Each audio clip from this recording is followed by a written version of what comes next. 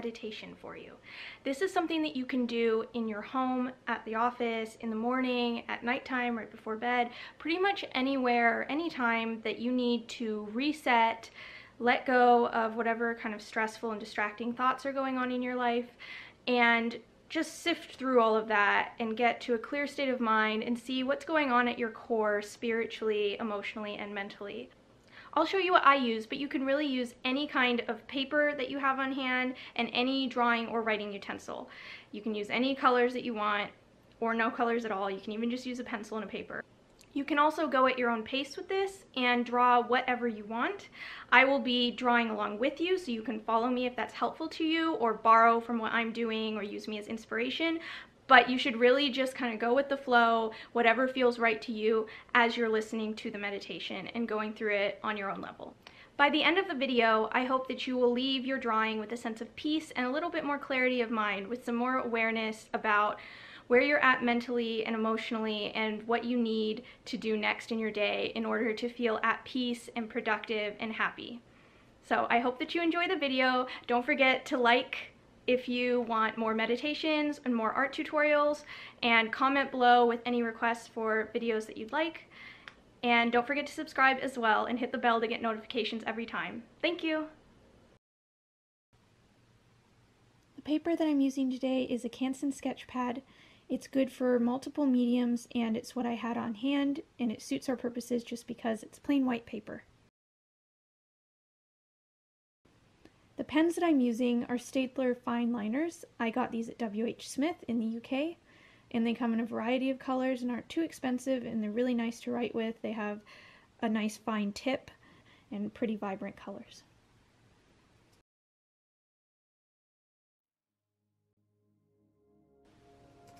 To begin, I invite you to choose a mantra or set an intention for the practice. This should be a single word that you can focus your energy and your thoughts around. I'm choosing the word ease. You might choose another word such as strength, gentleness, peace, or simply love.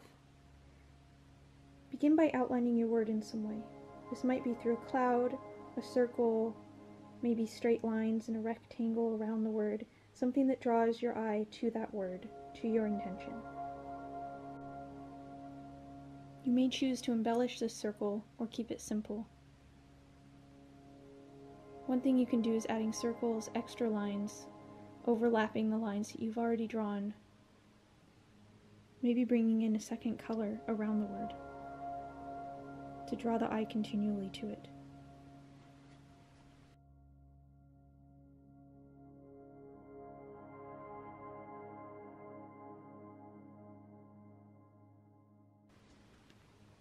You will begin to see that we are building a mandala shape around this word, with the word being the center of the mandala. If you're unfamiliar with the mandala, it's a circular drawing that builds out from inwards, adding layer upon layer until the many shapes that make up the mandala take up more and more of the page and build on each other. Start to build your mandala by adding shapes around the shapes that you have already drawn. This might be half moons, more circles, arrows, squares, leaf shapes. Begin with shapes that feel familiar, natural, and easy for you. You might want to change the pressure of the pencil or pen that you're using, adding thicker or thinner lines to add variation to the drawing.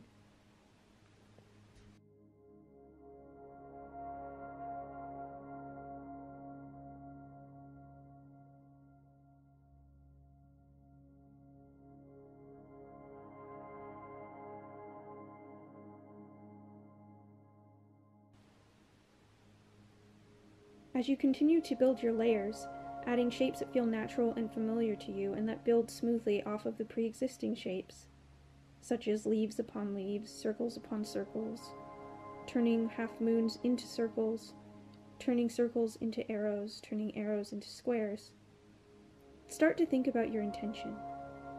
What is the word that you've chosen? What does it mean to you? What does it bring up for you when you dwell on it? Was it something that came to mind immediately? when I invited you to choose a word? Is it something that's on your mind a lot? Or did it surprise you? Maybe it came from something that you've read, watched, or listened to recently, or something that you've heard from a friend.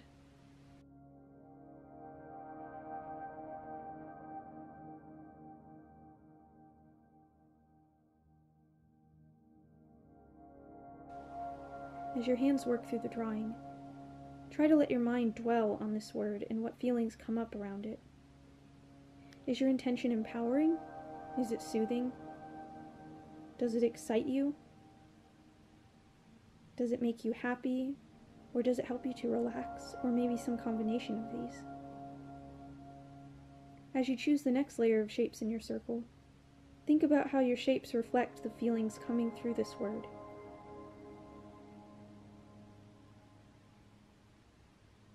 If you're using colors, do the colors you're choosing reflect the word as well? Perhaps your word is fierceness, and the colors that you could choose to complement this might be orange and red.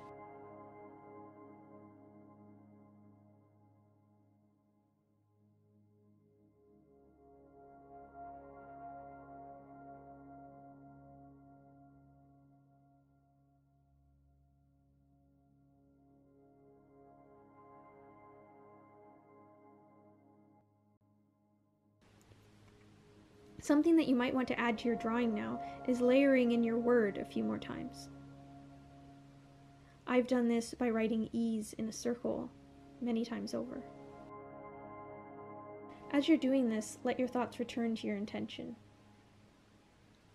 In what ways does this word serve you? How does it reflect something about you or something that you want to achieve or attain?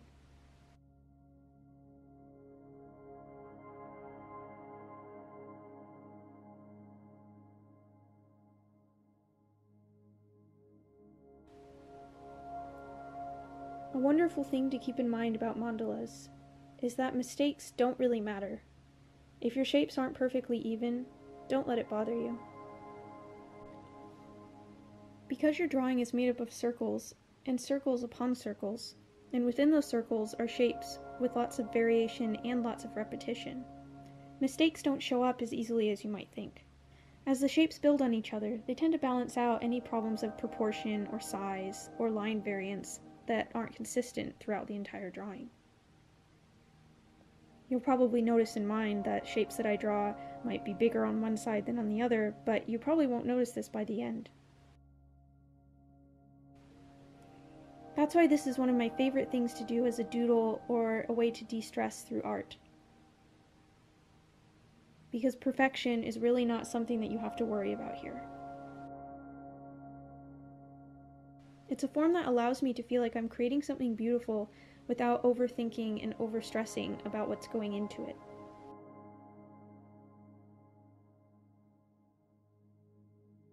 The mandala is also a drawing form that we will return to on this channel and that you can do on your own anytime, anywhere, whenever you need to reset and tap into your creativity on a moment's notice.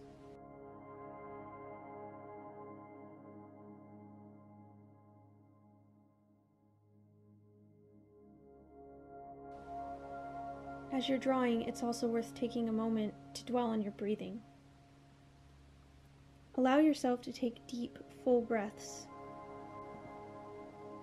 If it helps you to have a rhythm for breathing, think about taking a deep breath in for three counts and a long breath out for three counts. We often forget to take the fullest, deepest breaths that our body needs throughout the day. So, taking the time now as you're loosening up your creative side and clearing your mind and setting an intention, to also allow yourself to breathe will only serve you better for the rest of the day.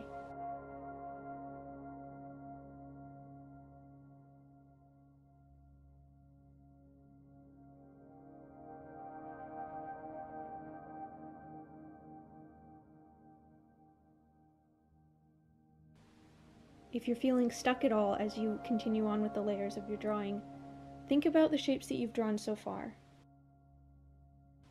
if you've been drawing angular shapes, such as arrows and triangles. Consider drawing a triangle that's made up of other shapes, such as circles, or little dashes, or any other stroke.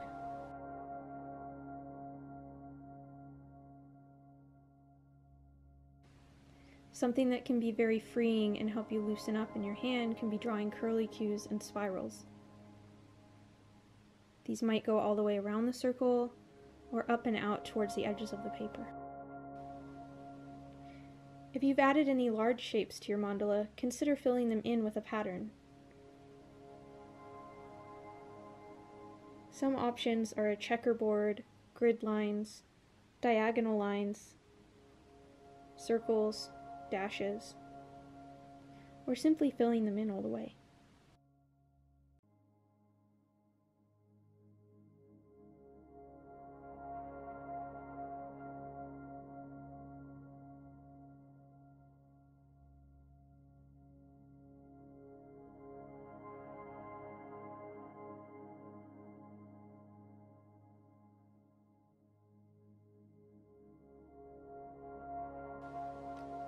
As we near the end of our time together, something that you can add to your drawing are sentences, if you feel comfortable doing so.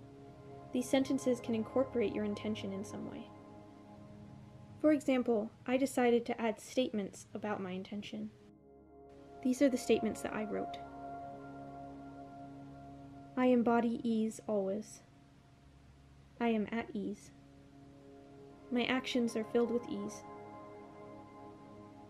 and I can approach life with ease. This can be a final way of focusing your energy on your intention before you leave your drawing, and to solidify what your intention means for you in your everyday life.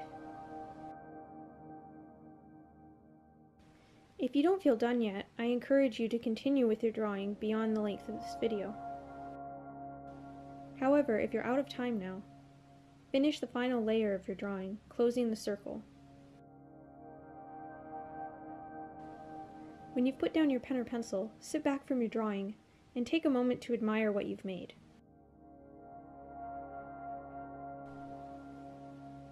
This is a piece of artwork that you might want to hang up over your desk or on the fridge in your house.